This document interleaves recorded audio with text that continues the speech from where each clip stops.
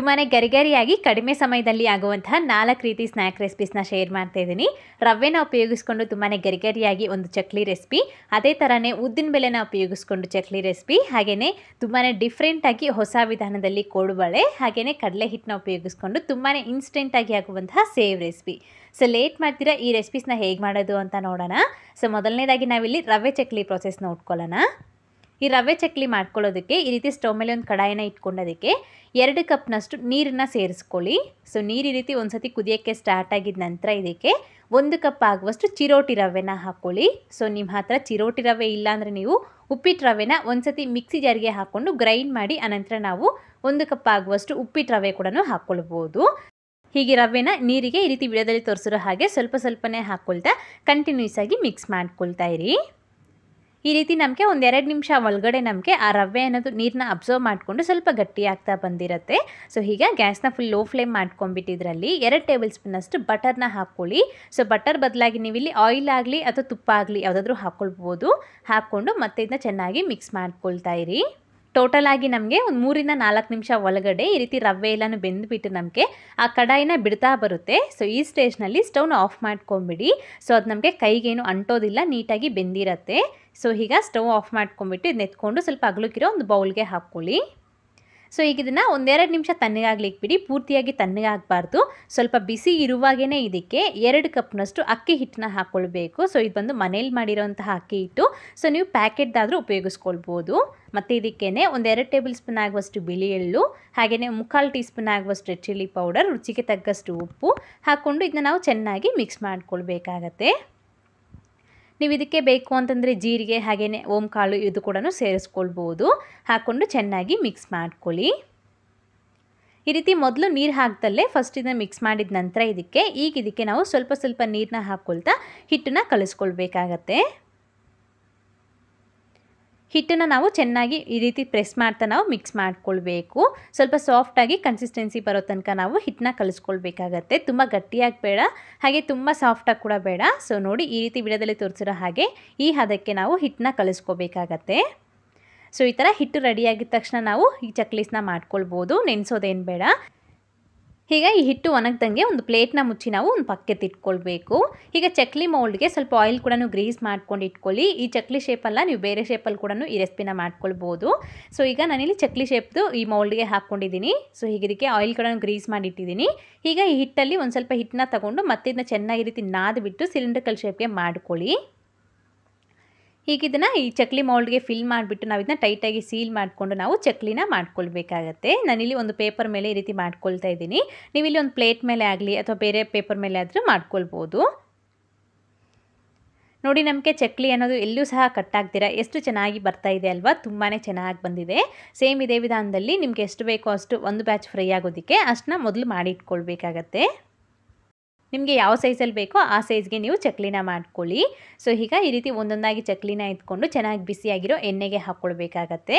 Oil ಚೆನ್ನಾಗಿ ಬಿಸಿಯಾಗಿದ್ದ ನಂತರ ಗ್ಯಾಸ್ನ medium ಫ್ಲೇಮ್ನಲ್ಲಿ ಇಟ್ಕೊಂಡು ಈ ರೀತಿ ಆಯಿಲ್ ಎಷ್ಟು ಆಗುತ್ತೋ ಅಷ್ಟು ಮಾತ್ರ ಹಾಕ್ಕೊಂಡು ನಾವು ನಿಧಾನವಾಗಿ ಮೀಡಿಯಂ ಫ್ಲೇಮ್ನಲ್ಲಿ ಫ್ರೈ ಮಾಡ್ಕೊಳ್ಬೇಕು.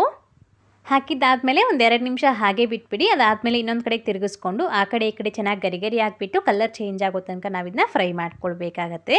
ಆದಷ್ಟು ಮೀಡಿಯಮ್ ಫ್ಲೇಮ್ನಲ್ಲೇ ಚಕ್ಲಿನ ಫ್ರೈ ಮಾಡ್ಕೊಳ್ಳಿ ಹೈ ಫ್ಲೇಮ್ನಲ್ಲಿ ಇಡೋದಕ್ಕೆ ಹೋಗಬೇಡಿ, ಬೇಯೋದಿಲ್ಲ ಸರಿಯಾಗಿ. ಈ ರೀತಿ ಚೆನ್ನಾಗಿ ಗರಿ ಗರಿಯಾಗಿ ಫ್ರೈ ಆಗಿಬಿಟ್ಟು ಆ ಬಬಲ್ಸ್ ಎಲ್ಲನೂ ಬರೋದು ಸ್ವಲ್ಪ ಕಡಿಮೆ ಆದಮೇಲೆ ಈ ಚಕ್ಲೀಸ್ನ ಎತ್ಕೊಂಬಿಡಿ, ಫ್ರೈ ಆಗಿರುತ್ತೆ. ಸೊ ನೋಡಿ ನಮಗೆ ಎಷ್ಟು ಸೂಪರಾಗಿ ರವೆ ಚಕ್ಲಿ ಅನ್ನೋದು ರೆಡಿಯಾಗಿದೆ ತುಂಬಾ ಚೆನ್ನಾಗಿರುತ್ತೆ ಟೇಸ್ಟ್ ಮಾತ್ರ.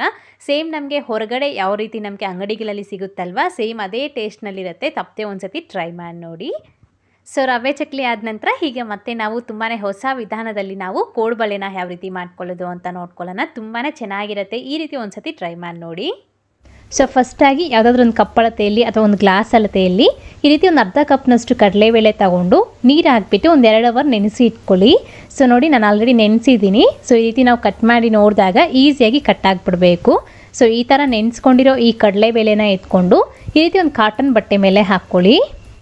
ಸೊ ನೀವಿಲ್ಲಿ ಈ ಕಡಲೆಬೇಳೆ ಬದಲಾಗಿ ಹೆಸರು ಬೇಳೆ ಕೂಡ ಉಪಯೋಗಿಸ್ಕೊಳ್ಬೋದು. ಸೊ ಈಗ ಈ ಕಡಲೆಬೇಳೆಯಲ್ಲಿರುವಂಥ ತೇವಾಂಶ ಎಲ್ಲನೂ ಈ ರೀತಿ ನಾವು ಬಟ್ಟೆ ಸಹಾಯದಿಂದ ಒರೆಸ್ಕೊಂಡ್ಬಿಡ್ಬೇಕಾಗತ್ತೆ ಒಂಚೂರು ಕೂಡ ನಮಗೆ ಆ ತೇವಾಂಶ ಅನ್ನೋದು ಇರಬಾರ್ದು. ಸೊ ನೋಡಿದ್ರಲ್ವಾ ಈ ರೀತಿ ನಮಗೆ ಚೆನ್ನಾಗಿ ಡ್ರೈ ಆಗಿರಬೇಕು. ಸೊ ಇದೆಲ್ಲನೂ ಎತ್ಕೊಂಡು ಈ ರೀತಿ ಒಂದು ಬೌಲಲ್ಲಿ ಹಾಕಿ ಪಕ್ಕೆ ಇಟ್ಕೊಳ್ಳಿ ಹೀಗೆ ಮತ್ತೆ ಈ ರೀತಿ ಸ್ವಲ್ಪ ದೊಡ್ಡದಾಗಿರುವಂಥ ಒಂದು ಪ್ಲೇಟ್ನ ತಗೊಂಡದ್ರಲ್ಲಿ ಒಂದು ಕಪ್ ಆಗುವಷ್ಟು ಅಕ್ಕಿ ಹಿಟ್ಟನ್ನ ಹಾಕ್ಕೊಳ್ಳಿ ಸೊ ನಾನಿಲ್ಲಿ ಮನೇಲಿ ಮಾಡಿರುವಂತಹ ಅಕ್ಕಿ ಹಿಟ್ಟನ್ನ ಉಪಯೋಗಿಸ್ಕೊಳ್ತಾ ಇದ್ದೀನಿ. ಚೆನ್ನಾಗಿ ರೀತಿ ನಮಗೆ ಫೈನ್ ಪೌಡರ್ ಆಗಿರಬೇಕು. ಅದೇ ಥರನೇ ಅರ್ಧ ಕಪ್ನಷ್ಟು ಮೈದಾ ಹಿಟ್ಟನ್ನ ಹಾಕ್ಕೊಳ್ಳಿ ಸೊ ನಾವು ಬರೀ ಅಕ್ಕಿ ಹಿಟ್ಟಿನಲ್ಲಿ ಮಾಡಿದ್ರೆ ಅಷ್ಟು ಸರಿಯಾಗಿ ಬರೋದಿಲ್ಲ. ಈ ರೀತಿ ನಾವು ಒಂದು ಕಪ್ನಷ್ಟು ಅಕ್ಕಿ ಹಿಟ್ಟಿಗೆ ಅರ್ಧ ಕಪ್ನಷ್ಟು ಮೈದಾ ಹಿಟ್ಟು ಸೇರಿಸ್ಬೇಕಾಗತ್ತೆ. ಆನಂತರ ಇವೆರಡೂ ಚೆನ್ನಾಗಿ ಮಿಕ್ಸ್ ಮಾಡಿ ಒಂದು ಪಕ್ಕೆ ತಿಟ್ಕೊಳ್ಳಿ ಸೊ ಹೀಗೆ ನಮಗೆ ಟೋಟಲ್ ಆಗಿ ಹಿಟ್ಟು ಬಂದುಬಿಟ್ಟು ಒಂದೂವರೆ ಕಪ್ನಷ್ಟು ಇದೆಯಲ್ಲ? ಸೊ ಅದೇ ಥರನೇ ಒಂದೂವರೆ ಕಪ್ನಷ್ಟು ನೀರನ್ನ ಒಂದು ಕಡಾಯಿಗೆ ಅಥವಾ ಒಂದು ಪಾತ್ರೆಗೆ ಹಾಕ್ಕೊಳ್ಳಿ. ಸೊ ಹೀಗೆ ನೀರನ್ನ ಚೆನ್ನಾಗಿ ಬಾಯ್ಲ್ ಆಗ್ಲಿಕ್ಕೆ ಬಿಡಬೇಕು ಸೊ ಈ ರೀತಿ ಚೆನ್ನಾಗಿ ನೀರು ಕುದಿಯೋ ಟೈಮ್ನಲ್ಲಿ ಇದಕ್ಕೆ ರುಚಿಗೆ ತಗ್ಗಷ್ಟು ಉಪ್ಪು ಹಾಗೆಯೇ ಒಂದು ಅರ್ಧ ಟೀ ಸ್ಪೂನ್ ಆಗುವಷ್ಟು ರೆಡ್ ಚಿಲ್ಲಿ ಪೌಡರ್ನ ಹಾಕ್ಕೊಳ್ಳಿ ಅಥವಾ ನಿಮ್ಮ ಖಾರಕ್ಕೆ ಎಷ್ಟು ಬೇಕೋ ಅಷ್ಟು ಹಾಕ್ಕೊಳ್ಬೋದು. ಹಾಗೆಯೇ ಒಂದೇ ಒಂದು ಚಿಟಿಕೆ ಆಗುವಷ್ಟು ಫುಡ್ ಕಲರ್ನ ಹಾಕ್ಕೊಳ್ತಾ ಇದ್ದೀನಿ. ಸೊ ಬೇಕು ಅಂತಂದರೆ ಮಾತ್ರ ಹಾಕ್ಕೊಳ್ಳಿ. ಇಲ್ಲಾಂದರೆ ಕಂಪ್ಲೀಟಾಗಿ ಆಪ್ಷನಲ್ ಇದ್ದರು ಜಸ್ಟ್ ಕಲರ್ಗೋಸ್ಕರ ಅಷ್ಟೇ ಮತ್ತು ಇದಕ್ಕೆ ಒಂದೆರಡು ಟೀ ಸ್ಪೂನ್ ಆಗುವಷ್ಟು ಎಣ್ಣೆ ಕೂಡ ಹಾಕ್ಕೊಂಡು ಚೆನ್ನಾಗಿ ಮಿಕ್ಸ್ ಮಾಡಿ. ಹೀಗೆ ಗ್ಯಾಸ್ನ ಫುಲ್ ಲೋ ಫ್ಲೇಮ್ ಮಾಡ್ಕೊಂಡ್ಬಿಟ್ಟು ಮತ್ತು ಇದಕ್ಕೆ ನಾವು ಫಸ್ಟೇ ಮಿಕ್ಸ್ ಮಾಡಿಟ್ಟಿರೋ ಈ ಅಕ್ಕಿ ಹಿಟ್ಟು ಮತ್ತು ಮೈದಾ ಹಿಟ್ಟಿದೆಯಲ್ಲ ಅದೆಲ್ಲನೂ ಹಾಕ್ಕೊಂಡು ಕಡಿಮೆ ಉರಿಯಲ್ಲಿ ಚೆನ್ನಾಗಿ ಒಂದೆರಡು ನಿಮಿಷಗಳ ಕಾಲ ಚೆನ್ನಾಗಿ ಮಿಕ್ಸ್ ಮಾಡ್ಕೊಳ್ಬೇಕಾಗತ್ತೆ. ಈ ಥರ ಒಂದೆರಡು ನಿಮಿಷ ಚೆನ್ನಾಗಿ ಇದನ್ನ ಮಿಕ್ಸ್ ಮಾಡಿದ ನಂತರ ಈಗ ಸ್ಟವ್ನ ಆಫ್ ಮಾಡ್ಕೊಂಡ್ಬಿಟ್ಟು ಹೀಗೆ ಹಿಟ್ಟನ್ನ ಎತ್ಕೊಂಡು ಈ ರೀತಿ ಒಂದು ದೊಡ್ಡ ಪ್ಲೇಟ್ಗೆ ಹಾಕ್ಕೊಂಡು ಇದನ್ನ ಈ ರೀತಿ ನಾವು ಸ್ವಲ್ಪ ಅಗಲಕ್ಕೆ ಸ್ಪ್ರೆಡ್ ಮಾಡ್ಕೊಂಡ್ಬಿಟ್ಟು ಸ್ವಲ್ಪ ತಣ್ಣಗಾಗ್ಲಿಕ್ಕೆ ಬಿಡಬೇಕು. ಒಂದು ಅರ್ಧ ಮಾತ್ರ ನಮಗಿದು ತಣ್ಣಗಾಗಬೇಕಷ್ಟೇ ಪೂರ್ತಿಯಾಗಿ ತಣ್ಣಗಾದರೆ ನಮಗೆ ಅಷ್ಟು ಸರಿಯಾಗಿ ಬರೋದಿಲ್ಲ ಕೋಳ್ಬಳೆ. ನಾವು ಈ ರೀತಿ ಹಿಟ್ಟು ಮುಟ್ಟಿ ನೋಡಿದಾಗ ನಮಗೆ ಕೈಗೆ ಸ್ವಲ್ಪ ಬಿಸಿ ಆಗಬೇಕು. ಸೊ ಆ ಥರ ಸ್ವಲ್ಪ ಬಿಸಿ ಇದ್ದಾಗ ಸ್ವಲ್ಪ ಕೈಗೆ ತೇವ ಮಾಡಿಕೊಂಡು ಚೆನ್ನಾಗಿ ಇದನ್ನು ಒಂದು ಐದು ನಿಮಿಷಗಳ ಕಾಲ ಚೆನ್ನಾಗಿ ನಾತ್ಕೊಳ್ಳಿ. ಸೊ ನೋಡಿ ಈ ರೀತಿ ಒಂದು ಉಂಡೆ ರೀತಿ ಮಾಡ್ಕೊಂಬಿಟ್ಟು ಇದನ್ನು ಒಂದು ಪಕ್ಕೆ ತಿಟ್ಕೋಬೇಕಾಗತ್ತೆ ಸೊ ಹೀಗೆ ಇದರಲ್ಲಿ ಒಂದು ಸ್ವಲ್ಪ ಹಿಟ್ಟನ್ನ ತಗೊಂಡು ರೌಂಡಾಗಿ ಮಾಡ್ಕೊಂಡು ಇಟ್ಕೊಳ್ಳಿ. ಸೊ ಹೀಗೆ ನಾವು ಇದನ್ನ ಕೋಡ್ಬಳೆ ಮಾಡ್ಕೊಳ್ಳೋದಕ್ಕೋಸ್ಕರ ಈ ರೀತಿ ನೋಡಿ ನಾವು ಇದನ್ನ ಸಿಲಿಂಡ್ರಿಕಲ್ ಶೇಪ್ಗೆ ಉದ್ದಕ್ಕೆ ಮಾಡ್ಕೊಳ್ಬೇಕಾಗತ್ತೆ. ಸ್ವಲ್ಪ ದಪ್ಪ ಇರಬೇಕು, ತುಂಬ ಸಣ್ಣ ಮಾಡೋದಕ್ಕೆ ಹೋಗಬೇಡಿ. ಸೊ ಈ ಥರ ವಿಡಿಯೋದಲ್ಲಿ ಕಾಣಿಸ್ದಾಗೆ ಸ್ವಲ್ಪ ದಪ್ಪಕ್ಕೆ ಇದನ್ನ ರೋಲ್ ಮಾಡಿಕೊಂಡು. ಸೊ ಹೀಗೆ ಈ ಕಡಲೆಬೇಳೆನ ಈ ರೀತಿ ಹಾಕ್ಕೊಂಡ್ಬಿಟ್ಟು ವಿಡಿಯೋದಲ್ಲಿ ಕಾಣಿಸ್ದಾಗೆ ಇದನ್ನ ರೋಲ್ ಮಾಡ್ಕೊಳ್ಳಿ. ಸೊ ನೋಡಿದ್ರಲ್ವಾ? ಈ ಥರ ಮಾಡ್ಕೊಂಬಿಟ್ಟು ಹೀಗೆ ಎರಡು ಎಜ್ಜಸ್ ಕೂಡ ನೀಟಾಗಿ ಜಾಯಿಂಟ್ ಮಾಡ್ಕೊಂಬಿಡಿ ಸೊ ಈ ರೀತಿ ರೌಂಡ್ ಮಾಡುವಾಗ ಎಲ್ಲಾದರೂ ಕಟ್ ಆಗ್ದಂಗೆ ಕಾಣಿಸಿದ್ರೆ ಅದನ್ನು ನೀಟಾಗಿ ಪ್ರೆಸ್ ಮಾಡ್ಕೊಂಬಿಡಿ ಇಲ್ಲಾಂದರೆ ಎಣ್ಣೆಗೆ ಹಾಕಿದಾಗ ಮತ್ತೆ ಸ್ವಲ್ಪ ಕಟ್ಟಾಗೋ ಚಾನ್ಸ್ ಇರುತ್ತೆ. ಸೊ ಅದಕ್ಕೋಸ್ಕರ ಈ ರೀತಿ ಎಲ್ಲೆಲ್ಲಿ ಕಡಲೆಬೇಳೆ ಬೇಕೋ ಅದೆಲ್ಲನೂ ಈ ರೀತಿ ನಾವು ಅಂಟಿಸ್ಕೊಂಬಿಡ್ಬೇಕಾಗತ್ತೆ ಸೊ ನೋಡಿ ನಮಗೆ ಸೂಪರಾಗಿ ಈ ರೀತಿ ರೆಡಿಯಾಗಿದೆ ಅಲ್ವಾ? ಸೊ ಇದೇ ರೀತಿ ನಾವು ಎಲ್ಲನೂ ಸಹ ಮಾಡಿ ಇಟ್ಕೊಳ್ಬೇಕಾಗತ್ತೆ. ಈ ಥರ ರೌಂಡ್ ಶೇಪ್ಗೆ ಮಾಡೋದು ಕಷ್ಟ ಅನಿಸಿದ್ರೆ ನೀವು ಹಾಗೆ ಉದ್ದುದ್ದು ಕೂಡ ಮಾಡ್ಕೊಳ್ಬೋದು. ಸೊ ಶೇಪ್ದೇನಿದೆ ಸೊ ನಿಮ್ಗೆ ಯಾವ ಥರ ಬೇಕೋ ಆ ಥರ ಮಾಡ್ಕೋಬೋದು. ಸೊ ನೋಡಿದ್ರಲ್ವಾ? ಇದೇ ರೀತಿ ನಾನು ಎಲ್ಲನೂ ಸಹ ಮಾಡಿ ಈ ರೀತಿ ಒಂದು ಪ್ಲೇಟ್ಗೆ ಹಾಕಿ ಇಟ್ಕೊಂಡಿದ್ದೀನಿ ಸೊ ಹೀಗೆ ಒಣಗ್ದಂಗೆ ಒಂದು ಬಟ್ಟೆನ ಮುಚ್ಚಿ ಇಟ್ಕೋಬೇಕಾಗತ್ತೆ ನಾವು. ಒಣಗಿದ್ರೆ ನಮಗೆ ಅಷ್ಟು ಸರಿಯಾಗಿ ಬರೋದಿಲ್ಲ. ಸೊ ಹೀಗಿದನ್ನ ಡೀಪ್ ಫ್ರೈ ಮಾಡ್ಕೊಳ್ಳೋದಕ್ಕೆ ಆಯಿಲ್ ಕೂಡ ಒಂದು ಕಡೆ ಚೆನ್ನಾಗಿ ಬಿಸಿ ಆಗಿದೆ ನೋಡಿ. ಈ ರೀತಿ ನಾವು ಒಂದೊಂದಾಗಿ ಆಯಿಲ್ಗೆ ಬಿಡಬೇಕು. ಸೊ ಈಸಿಯಾಗಿ ಫ್ರೈ ಆಗೋ ರೀತಿ ಎಷ್ಟಾಗುತ್ತೋ ಅಷ್ಟು ಮಾತ್ರ ಹಾಕ್ಕೊಂಡು ಇದನ್ನ ಫ್ರೈ ಮಾಡ್ಕೊಳ್ಬೇಕಾಗತ್ತೆ. ಮೀಡಿಯಮ್ ಫ್ಲೇಮ್ನಲ್ಲಿ ಮಾತ್ರ ನಾವು ಇದನ್ನ ಫ್ರೈ ಮಾಡ್ಕೊಳ್ಬೇಕು. ಸೊ, ಈ ರೀತಿ ಹಾಕಿದಾದಮೇಲೆ ಒಂದೆರಡು ನಿಮಿಷ ಬಿಟ್ಟು ಆನಂತರ ನಾವು ಇದನ್ನ ತಿರುಗಿಸ್ಕೊಳ್ಬೇಕಾಗತ್ತೆ ಇನ್ನೊಂದು ಕಡೆಗೆ. ಹಾಕಿದ ತಕ್ಷಣ ತಿರುಗಿಸಿದ್ರೆ ನಮಗೆ ಆ ಕಡಲೆಬೇಳೆ ಎಲ್ಲನೂ ಬಿಟ್ಟೋಗ್ಬಿಡತ್ತೆ. ಸೊ, ನೋಡಿ, ಈ ರೀತಿ ನಾವು ಒಂದೆರಡು ನಿಮಿಷ ಆದಮೇಲೆ ಇನ್ನೊಂದು ಕಡೆಗೆ ತಿರುಗಿಸ್ಕೊಂಡು, ಆ ನೊರೆ ಅನ್ನೋದು ಸ್ವಲ್ಪ ಕಡಿಮೆ ಆಗೋ ತನಕ ನಾವು ಫ್ರೈ ಮಾಡ್ಕೊಳ್ಬೇಕು. ನೋಡಿ, ನಮಗೆ ಆಯಿಲಲ್ಲಿ ಸ್ವಲ್ಪ ಬಬಲ್ಸ್ ಬರೋದೆಲ್ಲನೂ ಕಡಿಮೆ ಆಗಿದೆ ಅಲ್ವಾ? ಸೊ ಈ ಸ್ಟೇಜ್ನಲ್ಲಿ ನಾವು ಇದನ್ನ ಎತ್ಕೊಂಡ್ಬಿಡಬೇಕು. ಸೊ ನಾವು ಇದನ್ನ ಡಬಲ್ ಫ್ರೈ ಮಾಡ್ಕೊಳ್ತೀವಿ. ಆಗಲೇ ನಮಗೆ ಒಂದು ಒಳ್ಳೆ ಕ್ರಿಸ್ಪಿಯಾಗಿ ತಿನ್ನಲಿಕ್ಕೆ ತುಂಬ ಚೆನ್ನಾಗಿರುತ್ತೆ. ಸೊ ಇದನ್ನ ಡಬಲ್ ಫ್ರೈ ಮಾಡಲೇಬೇಕಾಗತ್ತೆ. ಸೊ ಹೀಗೆ ಮತ್ತೆ ಇದಕ್ಕೇನೆ ಇನ್ನೊಂದು ಬ್ಯಾಚ್ ಕೂಡ ಹಾಕ್ಕೊಂಡು ಫ್ರೈ ಮಾಡ್ಕೊಳ್ತಾ ಇದ್ದೀನಿ. ಫಸ್ಟ್ ಟೈಮ್ ನಾವು ಫ್ರೈ ಮಾಡುವಾಗ ಒಂದು ಮುಕ್ಕಾಲು ಭಾಗ ಬೇಯಬೇಕಾಗತ್ತೆ. ಒಂದು ಸೆವೆಂಟಿ ಫೈವ್ ಪರ್ಸೆಂಟ್ ಬೆಂದಾದಮೇಲೆ ಈ ರೀತಿ ನಮಗೆ ಆ ಬಬುಲ್ಸ್ ಎಲ್ಲನೂ ಕಡಿಮೆ ಆಗುತ್ತೆ. ಸೊ ಈ ಸ್ಟೇಜ್ನಲ್ಲಿ ನಾವು ಇದನ್ನ ಎತ್ಕೊಂಡ್ಬಿಡ್ಬೇಕು. ಎರಡು ಕಡೆಯೂ ಚೆನ್ನಾಗಿ ಫ್ಲಿಪ್ ಮಾಡ್ತಾ ನಾವು ಇದನ್ನ ಫ್ರೈ ಮಾಡ್ಕೊಳ್ಬೇಕಾಗತ್ತೆ. ಸೊ ಈ ಥರ ನಾನು ಎರಡು ಬ್ಯಾಚಸ್ನ ಫ್ರೈ ಮಾಡ್ಕೊಂಡಿದ್ನಲ್ವ? ಸೊ ಈಗ ಮತ್ತೆ ಗ್ಯಾಸ್ನ ಮೀಡಿಯಮ್ ಫ್ಲೇಮ್ನಲ್ಲೇ ಇಟ್ಕೊಂಡು ಹೀಗೆ ಇದಕ್ಕೆ ನಾವು ಮತ್ತೆ ಹಾಕಿ ಫ್ರೈ ಮಾಡ್ಕೊಳ್ಬೇಕಾಗತ್ತೆ. ಸೊ ನಾನಿಲ್ಲಿ ಫಸ್ಟ್ ಬ್ಯಾಚ್ ಫ್ರೈ ಮಾಡ್ಕೊಂಡಿದ್ನಲ್ಲ, ಅದೆಲ್ಲನೂ ಹಾಕ್ಕೊಂಡು ಫ್ರೈ ಮಾಡ್ಕೊಳ್ತಾ ಇದ್ದೀನಿ. ಇದು ಕೂಡ ಅಷ್ಟೇ ಮೀಡಿಯಂ ಫ್ಲೇಮ್ನಲ್ಲೇ ಆ ಬಬಲ್ಸ್ ಅನ್ನೋದು ಫುಲ್ ಕಡಿಮೆ ಆಗೋ ತನಕ ನಾವು ಫ್ರೈ ಮಾಡ್ಕೊಳ್ಬೇಕು. ಆಗಲೇ ನಮಗೆ ಒಂದು ಒಳ್ಳೆ ಕ್ರಿಸ್ಪಿಯಾಗಿ ಟೇಸ್ಟಿಯಾಗಿ ಬರುತ್ತೆ. ಯಾಕಂದರೆ ಸ್ವಲ್ಪ ದಪ್ಪ ಇರುತ್ತಲ್ವ ಸೊ ಅದಕ್ಕೋಸ್ಕರನೇ ಕಡಿಮೆ ಉರಿಯಲ್ಲಿ ನಾವು ಇದನ್ನ ಫ್ರೈ ಮಾಡಿಕೊಂಡ್ರೆ ಚೆನ್ನಾಗಿರುತ್ತೆ ಟೇಸ್ಟು ಸೊ ನೋಡಿ, ಈ ರೀತಿ ಆಲ್ಮೋಸ್ಟ್ ಅಲ್ಲಿ ಎಲ್ಲ ಬಬಲ್ಸು ಕಡಿಮೆ ಆಗಿದೆ ಸೊ ನೀಟಾಗಿ ಫ್ರೈ ಆಗಿಬಿಟ್ಟಿದೆ. ಸೊ ಈ ಸ್ಟೇಜ್ನಲ್ಲಿ ನಾನು ಇದನ್ನ ಎತ್ಕೊಂಡ್ಬಿಡ್ತಾ ಇದ್ದೀನಿ. ತುಂಬ ಕಡಲೆಬೇಳೆ ಫುಲ್ ಸೀದೋಗೋ ತನಕ ಫ್ರೈ ಮಾಡೋದಕ್ಕೆ ಹೋಗಬೇಡಿ. ಸೊ ಈ ರೀತಿ ಒಂದು ಒಳ್ಳೆ ಕ್ರಿಸ್ಪಿಯಾಗಿ ರೆಡಿ ಆಗಿದ ತಕ್ಷಣ ಇದನ್ನ ಎತ್ಕೊಂಡ್ಬಿಡ್ಬೇಕು. ಸೇಮ್ ಇದೇ ವಿಧಾನದಲ್ಲಿ ನಾವು ನೆಕ್ಸ್ಟ್ ಎಲ್ಲ ಕೂಡ ಫ್ರೈ ಮಾಡಿ ತಗೊಳ್ಳೋದಷ್ಟೇ ಸೊ ಡಬಲ್ ಫ್ರೈ ಮಾಡ್ಕೊಳ್ಳಿ, ಆಗಲೇ ನಮಗೆ ಚೆನ್ನಾಗಿರುತ್ತೆ ಟೇಸ್ಟು ಸೊ ನೋಡಿದ್ರಲ್ವ ಇದೇ ರೀತಿ ನಾನು ಎಲ್ಲ ಮಾಡಿ ತಗೊಂಡಿದ್ದೀನಿ. ಸೂಪರಾಗಿದೆ ತಿನ್ಲಿಕ್ಕಂತೂ ತುಂಬಾ ಚೆನ್ನಾಗಿದೆ. ಸೊ ಕೋಡ್ಬಳೆ ಆದ ನಂತರ ಹೀಗೆ ಮತ್ತೆ ನಾವು ಉದ್ದಿನ ಬೇಳೆನ ಉಪಯೋಗಿಸ್ಕೊಂಡು ಮುರುಕು ಅಥವಾ ಚಕ್ಲಿನ ಹೇಗೆ ಮಾಡೋದು ಅಂತ ನೋಡ್ಕೊಳ್ಳೋಣ. ಫಸ್ಟಾಗಿ ರೆಸಿಪಿ ಮಾಡ್ಕೊಳೋದಕ್ಕೆ ಒಂದು ಕುಕ್ಕರ್ ತಗೊಳ್ಳಿ. ಅದರಲ್ಲಿ ಯಾವುದಾದ್ರೂ ಒಂದು ಕಪ್ಪಲ್ತೆನಲ್ಲಿ ಒಂದು ಕಪ್ ಆದಷ್ಟು ಉದ್ದಿನ ಬೇಳೆನ ಹಾಕ್ಕೊಳ್ಳಿ. ಹೀಗೆ ಉದ್ದಿನ ಬೇಳೆನ ಚೆನ್ನಾಗಿ ಒಂದೆರಡು ಸಲ ವಾಶ್ ಮಾಡ್ಕೊಂಡು ತಗೋಬೇಕು. ಈ ಥರ ಉದ್ದಿನ ಬೇಳೆನ ಫಸ್ಟ್ ಚೆನ್ನಾಗಿ ತೊಳೆದಾದ ನಂತರ ಇದಕ್ಕೆ ಅದೇ ಕಪ್ಪಲ್ತೆನಲ್ಲಿ ಎರಡು ಕಪ್ ತುಂಬ ನೀರು ಹಾಕ್ಕೊಂಡು ಕುಕ್ಕರ್ ಮುಚ್ಚಲನ ಮುಚ್ಚಿಬಿಟ್ಟು ಮೀಡಿಯಮ್ ಫ್ಲೇಮ್ನಲ್ಲಿ ಒಂದು ಐದು ವಿಸಿಲ್ ಹಾಕಿಸ್ಕೊಳ್ಳಿ. ಈ ಉದ್ದಿನ ಬೇಳೆ ನಮಗೆ ಚೆನ್ನಾಗಿ ಬೇಯಬೇಕು. ಈ ರೀತಿ ನಾವು ಉದ್ದಿನ ಬೇಳೆ ಹಾಕ್ಬಿಟ್ಟು ಮಾಡೋದ್ರಿಂದ ಮುರುಕು ಅನ್ನೋದು ಸಖತ್ ರುಚಿಯಾಗಿರುತ್ತೆ. ಸೊ ನೋಡಿ, ನಾನಿಲ್ಲಿ ಒಂದು ಐದು ವಿಸಿಲ್ ಆದಮೇಲೆ ತೋರಿಸ್ತಿದ್ದೀನಿ. ಈ ಉದ್ದಿನ ಬೇಲೆ ಎಲ್ಲನೂ ಚೆನ್ನಾಗಿ ಬೆಂದಿದೆ. ಈ ರೀತಿ ನಮಗೆ ಚೆನ್ನಾಗಿ ಬೆಂದೋಗ್ಬಿಡಬೇಕು ಉದ್ದಿನ ಬೇಳೆ. ಗ್ಯಾಸ್ನ ಸ್ವಲ್ಪ ಮೀಡಿಯಮ್ ಫ್ಲೇಮ್ನಲ್ಲಿ ಇಟ್ಕೊಂಡು ಇದನ್ನ ಬೇಯಿಸ್ಕೋಬೇಕಾಗತ್ತೆ. ಇಲ್ಲಾಂದರೆ ಕುಕ್ಕರ್ ವಿಸಿಲ್ ಬಂದಾಗ ನೀರೆಲ್ಲನೂ ಆಚೆಗೆ ಬಂದುಬಿಡತ್ತೆ. ಸೊ ನಿಧಾನಕ್ಕೆ ಉದ್ದಿನ ಬೇಳೆನ ಬೇಯಿಸ್ಕೊಳ್ಳಿ. ಈ ಥರ ಚೆನ್ನಾಗಿ ಸಾಫ್ಟಾಗಿ ಉದ್ದಿನ ಬೇಳೆನ ಬೇಯಿಸ್ಕೊಂಡಿದ್ದಾದಮೇಲೆ ಇದನ್ನ ಫುಲ್ ತಣ್ಣಗಾಗೋದು ಗಂಟೆ ಇದನ್ನ ಹಾಗೆ ಬಿಟ್ಬಿಡಿ. ಫುಲ್ ಕೂಲ್ ಆದಮೇಲೆ ಇದನ್ನ ಎತ್ಬಿಟ್ಟು ಒಂದು ಮಿಕ್ಸಿ ಜಾರಿಗೆ ಹಾಕ್ಕೊಳ್ಳಿ. ಚಿಕ್ಕ ಮಿಕ್ಸಿ ಜಾರ್ಗೆ ಒಂದು ಸ್ವಲ್ಪ ಸ್ವಲ್ಪನೇ ಹಾಕ್ಕೊಳ್ತಾ ಇದನ್ನ ರುಬ್ಕೋಬೇಕಾಗತ್ತೆ. ರುಬ್ಬೋ ಟೈಮಲ್ಲಿ ನಿಮ್ಗೆ ಏನಾದರೂ ಸ್ವಲ್ಪ ನೀರು ಬೇಕು ಅಂತ ಅನಿಸಿದ್ರೆ ನೀರು ಹಾಕ್ಕೊಂಡು ಇದನ್ನ ರುಬ್ಕೊಳ್ಳಿ. ನೀರು ಹಾಕ್ದಿರೋ ರುಬ್ಬೋದಕ್ಕೆ ಆಗೋದಿಲ್ಲ, ಯಾಕಂದರೆ ಸ್ವಲ್ಪ ಗಟ್ಟಿಯಾಗಿರುತ್ತಲ್ವ? ಸೊ ನೀರು ಹಾಕ್ಕೊಂಡು ಇದನ್ನ ರುಬ್ಕೋಬೇಕು. ಜಾಸ್ತಿ ನೀರು ಹಾಕೋದಕ್ಕೆ ಹೋಗಬೇಡಿ, ಮತ್ತು ನಮಗೆ ಹಿಟ್ಟೆಲ್ಲನೂ ಫುಲ್ ಲೂಸ್ ಆಗಿಬಿಡತ್ತೆ, ಸರಿಯಾಗಿ ಬರೋದಿಲ್ಲ. ಒಂದು ಸ್ವಲ್ಪ ಸ್ವಲ್ಪನೇ ನೀರು ಹಾಕ್ಕೊಳ್ತಾ ಈ ರೀತಿ ನೋಡಿ ಈ ಹದಕ್ಕೆ ನಾವು ಇದನ್ನ ರುಬ್ಕೋಬೇಕಾಗತ್ತೆ. ಈ ಥರ ಚೆನ್ನಾಗಿ ನೈಸಾಗಿ ಇದನ್ನ ರುಬ್ಕೋಬೇಕು. ಈ ಥರ ಫಸ್ಟು ನಾವು ಉದ್ದಿನ ಹಿಟ್ಟನ್ನ ರೆಡಿ ಮಾಡ್ಕೊಂಡಿದ್ದು ಪಕ್ಕೆ ತಿಟ್ಕೋಬೇಕು ಈಗ ಮತ್ತೆ ಸ್ವಲ್ಪ ಅಗ್ಲಕ್ಕಿರೋ ಒಂದು ಪಾತ್ರೆ ತೊಗೊಂಡದ್ರಲ್ಲಿ ಅದೇ ಕಪ್ ಅಳತೆನಲ್ಲಿ ಎರಡು ಕಪ್ ತುಂಬ ಅಕ್ಕಿ ಹಿಟ್ಟನ್ನ ಹಾಕ್ಕೊಳ್ಳಿ. ಹಾಗೆಯೇ ಒಂದು ಎರಡು ಟೀ ಸ್ಪೂನ್ ತುಂಬ ಬಿಲಿಯಲ್ಲಾಗಲಿ ಅಥವಾ ಕಪ್ಪಲ್ಲಾಗಲಿ ಹಾಕ್ಕೊಳ್ಳಿ, ರುಚಿಯಾಗಿರುತ್ತೆ. ಹಾಗೆಯೇ ಒಂದು ಅರ್ಧ ಟೀ ಸ್ಪೂನ್ ಆದಷ್ಟು ಕಾಳು ಮೆಣಸಿನ ಪುಡಿ, ಒಂದು ಕಾಲು ಟೀ ಸ್ಪೂನ್ ಆದಷ್ಟು ಓಂಕಾಳು, ಹಾಗೆ ರುಚಿಗೆ ತಕ್ಕಷ್ಟು ಉಪ್ಪು ಹಾಕ್ಕೊಂಡು ಇವೆಲ್ಲನೂ ಫಸ್ಟ್ ಚೆನ್ನಾಗಿ ರೀತಿ ಒಂದ್ಸಲಿ ಮಿಕ್ಸ್ ಮಾಡ್ಕೊಳ್ಳಿ. ಈ ರೀತಿ ಡ್ರೈ ಇಂಗ್ರೀಡಿಯೆಂಟ್ಸ್ ಎಲ್ಲನೂ ಒಂದ್ಸಲಿ ಮಿಕ್ಸ್ ಮಾಡ್ಕೊಂಡಿದ ನಂತರ ಇದಕ್ಕೆ ಒಂದು ಐದಾರು ಟೀ ಸ್ಪೂನ್ ತುಂಬ ಎಣ್ಣೆನ ಚೆನ್ನಾಗಿ ಬಿಸಿ ಮಾಡಿಕೊಂಡು ಹಾಕ್ಕೊಳ್ಳಿ. ಈ ರೀತಿ ಬಿಸಿ ಎಣ್ಣೆ ಹಾಕಿಬಿಟ್ಟು ಕೈಯಲ್ಲಿ ಈ ರೀತಿ ಚೆನ್ನಾಗಿದ್ದನ್ನ ಮಿಕ್ಸ್ ಮಾಡ್ಕೋಬೇಕಾಗತ್ತೆ. ಎಣ್ಣೆ ತುಂಬ ಬಿಸಿ ಇರೋ ಕಾರಣ ಚೆನ್ನಾಗಿ ನಿಧಾನಕ್ಕಿದ್ದ ಮಿಕ್ಸ್ ಮಾಡ್ಕೊಳ್ಳಿ. ಈ ರೀತಿ ನೋಡಿ ವಿಡಿಯೋದಲ್ಲಿ ಕಾಣಿಸ್ದಾಗೆ ಈ ಹಿಟ್ಟನ್ನ ನಾವು ಈ ರೀತಿ ಕೈಯಲ್ಲಿ ಸ್ವಲ್ಪ ರಬ್ ಮಾಡ್ತಾ ನಾವು ಚೆನ್ನಾಗಿ ಮಿಕ್ಸ್ ಮಾಡ್ಕೋಬೇಕು. ಈ ಥರ ಚೆನ್ನಾಗಿ ಮಿಕ್ಸ್ ಮಾಡ್ಕೊಂಡಿದ್ದ ನಂತರ ಒಂದ್ಸಲ ಈ ರೀತಿ ನೋಡಿ ಉಂಡೆ ಕಟ್ಬಿಟ್ಟು ನೋಡಿ ಉಂಡೆ ಅದಕ್ಕೆ ಬರ್ತಾ ಇದೆ ಅಂದರೆ ಕರೆಕ್ಟ್ ಕನ್ಸಿಸ್ಟೆನ್ಸಿ ಇದೆ. ಈ ಥರ ಹಿಟ್ಟು ಅನ್ನೋದು ನಮಗೆ ಮಾಯಿಸ್ಟ್ ಆಗಿರಬೇಕು. ಈ ಥರ ಮಾಯಿಸ್ಟ್ ಆಗಿ ಇಲ್ಲ ಅಂದರೆ ನೀವು ಇನ್ನೂ ಸ್ವಲ್ಪ ಎಣ್ಣೆನ ಚೆನ್ನಾಗಿ ಬಿಸಿ ಮಾಡಿಬಿಟ್ಟು ಎಣ್ಣೆ ಹಾಕ್ಕೊಂಡು ಈ ಹದಕ್ಕೆ ನಾವು ಫಸ್ಟ್ ಹಿಟ್ಟನ್ನ ಕಲಿಸ್ಕೋಬೇಕಾಗತ್ತೆ. ಅದಾದ ನಂತರ ಇದಕ್ಕೆ ನಾವು ರುಬ್ಬಿಟ್ಕೊಂಡಿರೋಂಥ ಉದ್ದಿನ ಹಿಟ್ಟು ಕೂಡ ಹಾಕ್ಕೊಂಡು ಚೆನ್ನಾಗಿ ಮಿಕ್ಸ್ ಮಾಡ್ಕೊಳ್ಳಿ. ಉದ್ದಿನ ಹಿಟ್ಟು ಎಲ್ಲ ಹಾಕ್ಕೊಂಬಿಡಿ ಇಕ್ಕೋದಕ್ಕೆ ಹೋಗ್ಬೇಡಿ. ಫುಲ್ ಹಾಕ್ಕೊಂಬಿಟ್ಟು ರೀತಿ ಚೆನ್ನಾಗಿದ್ದನ್ನ ಮಿಕ್ಸ್ ಮಾಡ್ಕೋಬೇಕು. ನೀರೇನು ಹಾಕ್ದಿರ ಫಸ್ಟ್ ಇದನ್ನ ಚೆನ್ನಾಗಿ ಮಿಕ್ಸ್ ಮಾಡ್ಕೊಳ್ಳಿ. ಈ ಥರ ಮಿಕ್ಸ್ ಮಾಡ್ಕೊಂಡಿದ್ದ ನಂತರ ನಿಮ್ಗೆ ಏನಾದರೂ ನೀರು ಬೇಕು ಅಂತ ಅನಿಸಿದ್ರೆ ನೀವು ನೀರು ಹಾಕ್ಕೊಂಡು ಮಿಕ್ಸ್ ಮಾಡ್ಕೊಳ್ಳಿ. ನನಗಿಲ್ಲಿ ಕರೆಕ್ಟಾಗಿದೆ ಒಂಚೂರು ಕೂಡ ನಾನಿಲ್ಲಿ ನೀರನ್ನ ಆ್ಯಡ್ ಮಾಡ್ಕೊಂಡಿಲ್ಲ.